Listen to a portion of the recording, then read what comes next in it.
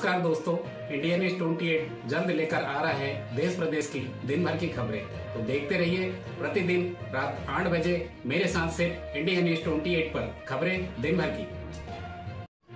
नमस्कार, स्वागत है आपका इंडिया न्यूज़ ट्वेंटी में। मैं हूँ आपके साथ महिमा सक्सेना आइए बात करते हैं उत्तराखंड की कुछ खास खबरों की।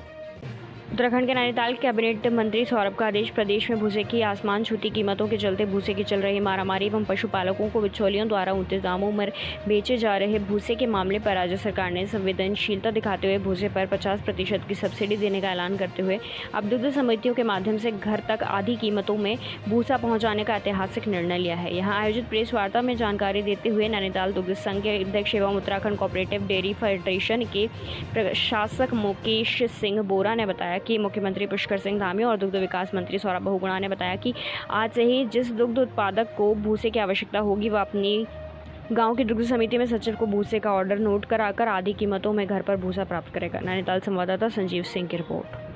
हमारे प्रदेश के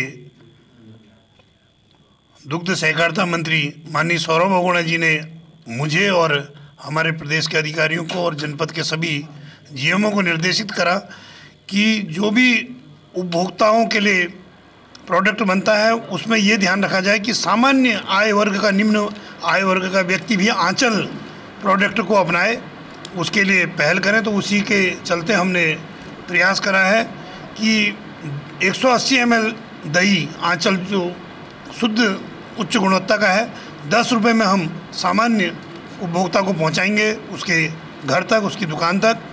और ऐसे ही हमने 25 रुपये में 400 ग्राम दही बाज़ार में उतारा है, जो उच्च गुणवत्ता के साथ साथ मुझे लगता है कि आज जो भी दही के प्रोडक्ट हैं, उनमें सबसे सस्ता और उच्च गुणवत्ता का दही हम बाज़ार में उतारने जा रहे हैं। मैं उसके लिए अपने दुख संघ के अधिकारियों को, अपनी प्रबंध कमेटी को और अपने समस्त अधिकारी कर्मचारियों को धन्यवाद ज्ञापित करता हूँ कि उन्होंने माननीय मंत्री जी के दिए गए निर्देश को बहुत कम समय में उपभोक्ताओं के लिए उतारा है।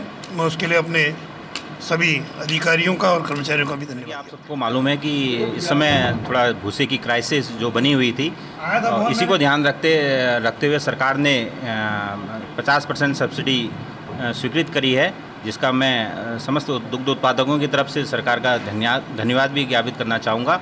और जिसके हमें आदेश मिल चुका है और हम लोग जो भूसा है वो मंगा के और दुग्ध उत्पादों को राहत देते हुए 50 परसेंट सब्सिडी पे भूसा उपलब्ध कराने जा रहे हैं। जो भूसे का जो अभी इस समय जो रेट है वो चौदह सौ अस्सी रुपया कैटल फ़ीड से हमको मिलता है और जो हम लोग जो दुग्ध उत्पादों को 50 परसेंट सब्सिडी पे सात सौ चालीस रुपये पे उपलब्ध करा रहे हैं। दुग्ध समिति के माध्यम से उपलब्ध कराया जाएगा।